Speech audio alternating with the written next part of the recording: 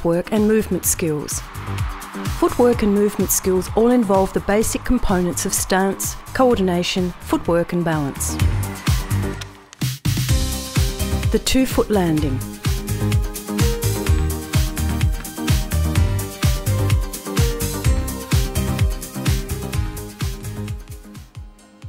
In the two foot landing, players should land with their feet shoulder width apart to give a stable base. They keep their body upright and bend their hips, knees, and ankles on impact to cushion the landing.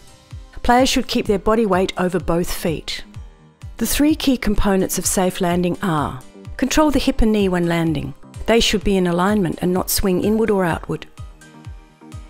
Keep the knee and toe direction the same. Ensure a soft and slightly bent knee on landing.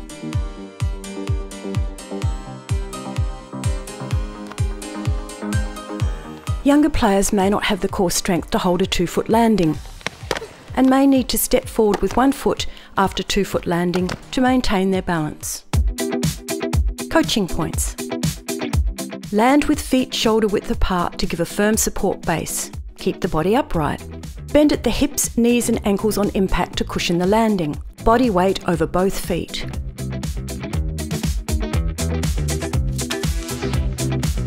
One foot landing.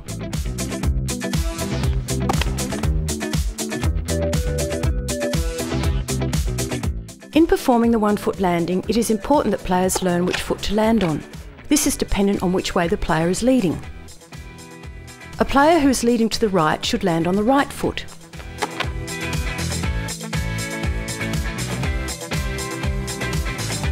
And a player who is leading to the left lands on the left foot. On landing, players should keep their body weight over the outside foot, with their shoulders even and weight on the outside foot. They then place their other foot on the ground quickly to help absorb impact and provide balance.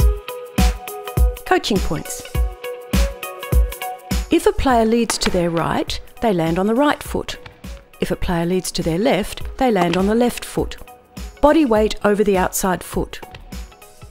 Place the other foot on the ground quickly to help absorb impact and provide balance. Bend at the hips, knees and ankles on impact to cushion the landing.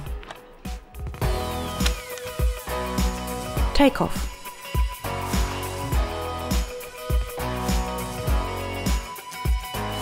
Players start with small steps or strides on takeoff and quickly move to bigger steps.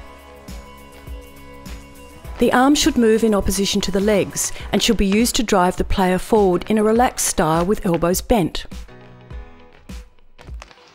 Players should keep their head and eyes up.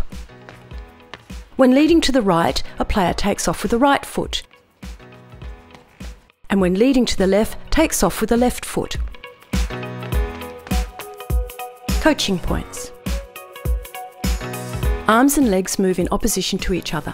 Lean body forward. Start with small steps and quickly move to bigger steps. Arms drive forward in a relaxed style, elbows bent. Head up and eyes up. When leading right, take off with the right foot.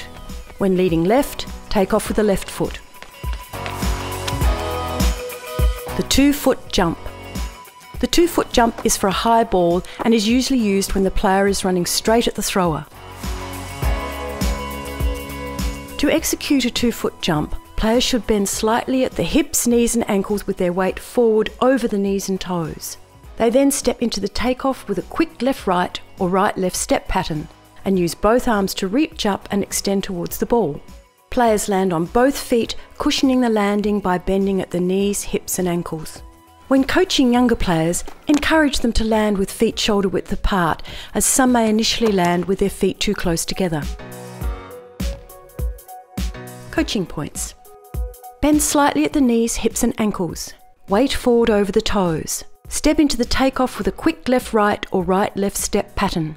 Use both arms to drive up and extend towards the ball. Land on both feet. Cushion the landing by bending at the knees, hips and ankles.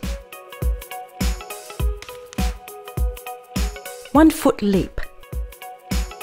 The one foot leap is usually used when the player is running at an angle to the thrower. To execute a one foot leap, players bend slightly at the knees, hips, and ankles, place their weight forward over the toes, and push off strongly from the takeoff foot. Reaching their arms out towards the ball, they land on the foot away from the thrower, cushioning the landing by bending the knees, hips, and ankles.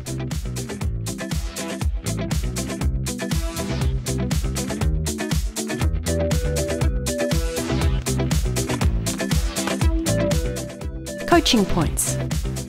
Bend slightly at the knees, hips, and ankles. Weight forward over the toes. Push off strongly from takeoff foot. Use both arms to drive up and extend towards the ball.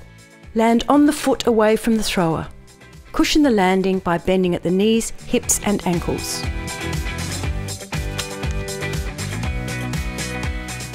Outside pivot.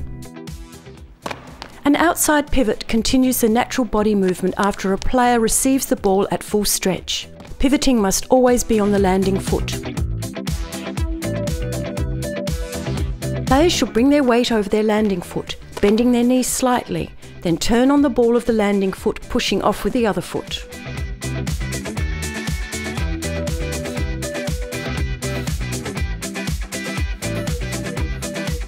The non-landing foot is lifted and regrounded to maintain balance. When leaning to the right, players land on the right foot and pivot to the right.